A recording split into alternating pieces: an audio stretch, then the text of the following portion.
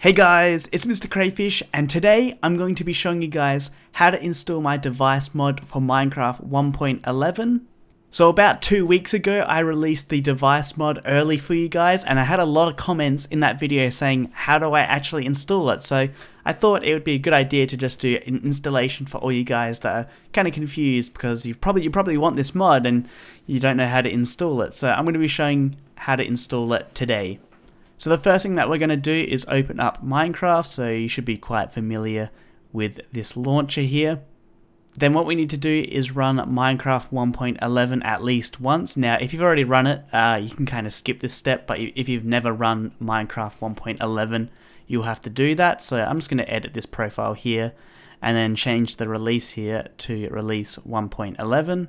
Save profile, and it looks like I've already um, run it once, but I'm just going to do it just for this video. So it's loading, and then it should be in the main screen in a second here. And there we go, we've run Minecraft 1.11 once. So now that we've done that, what we're going to do is go to Google here. Then we're just going to type in Forge. Go to Minecraft Forge website. Go to 1.11 here and it looks like it's actually got this up by default when you first load Forge. Now you want to come down here over to download recommended. Um, there's a reason why it's recommended is because it's the one with the least amount of bugs. If you're going for the latest, um, it's going to have new up-to-date fixes, but it's not going to be as stable as the recommended here. So go to recommended, then we're going to go ahead and click on installer.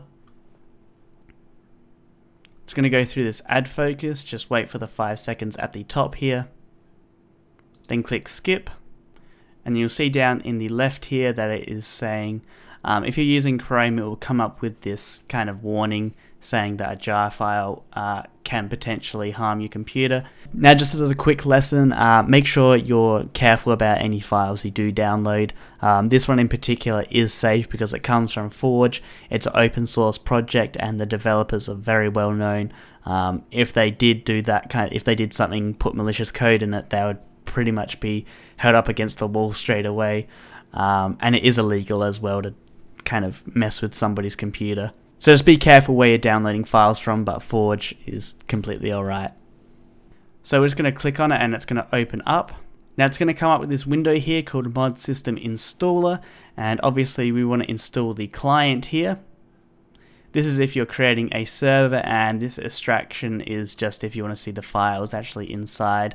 Um, we don't really want to do that. Now you might notice that we've got something here ticked and it's something called I think Mercurius and basically as it says there a mod that collects statistics about Minecraft in your system useful for Forge to understand how Minecraft and Forge are used. Now this is optional. I'm actually going to turn that off there. You can do it as well unless you want to help Forge out with developing or keeping Forge even more stable. Uh, maybe you want to send your data to them. It's obviously anonymous as well, so don't worry about that if you do want to keep it on, but I'm going to turn it off. I'm going to press OK here. It's going to install Forge. If we just quickly open the Minecraft launcher back up, and then we go to, um, well, we actually have to edit our profile here. So edit a profile, then go to use version, and then you want to scroll down. I think it's they're usually at the bottom here, um, but find release 1.11-forge. So it should look something like that. Click on there, press save profile. Now we're not actually going to launch up the game yet. What we're going to do is actually install my mod. So let's go back and I'll put a link in the description for my website if you don't know what it is already, but it's mrcrayfish.com. Once you've gone to that, click on mods here Mr. Crayfish's device mod, which is the first one in the list. Scroll down to the downloads at the bottom here and you'll see 1.11. You want to click on that and it's going to start downloading the mod. Now I was just going to go through a quick ad fly because I do earn a little teeny bit of money off each download, not not a lot, um, but it does support me and keeps me um, updating this mod to the latest versions of Minecraft. So if you do have ad block, I would um, find it helpful if you turned it off just for this section and it just helps me out a little bit. Then we'll come back to a downloaded page here and it's going to start downloading the mod. Again, another warning. Uh, I'm, I'm not someone that's going to be messing with your computers at all. Um, my source code is available on GitHub if you want to see what is going on there. Um, there's definitely nothing, I'm definitely not going to be doing anything to computers because it's illegal and I don't want to be doing that. Uh, we're actually going to um, drag that file onto the desktop here just temporarily. Then we're going to open an Explorer window here and what you want to do is type at the top here percentage app data percentage then find a folder called .minecraft double click on that go to mods then inside of here we're going to create a new folder called 1.11 open that up and then we're going to drag that the mod into this folder here. Minimize that and then let's go ahead and let's start up the game here. Remembering that uh, we'll just look down here first. It says ready to play Minecraft 1.11 dash Forge. So yep it's going to be running Forge 1.11 and it should load up the mod.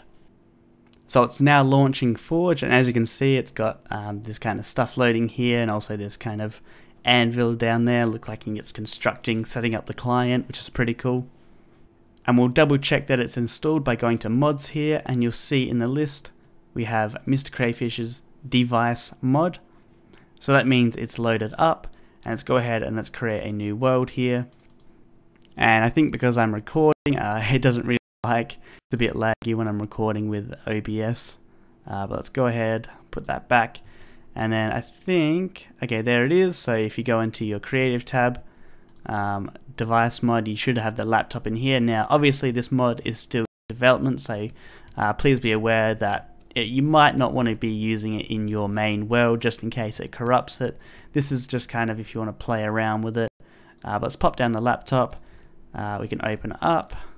And there you go, we've got the laptop open here now, we've got our screen here, we can start using all the applications. But that's it, that's how you install my device mod. Hopefully you found this tutorial useful. If you did, make sure you go ahead, hit that like button, or should I say snap that like button. That's kind of what I say instead of like. Uh, and also subscribe if you want to keep up to date with all my videos. Uh, press that post notification button if you want to be if you want to definitely be notified when my new uploads go up. But that's it. I'll see you guys later. Bye.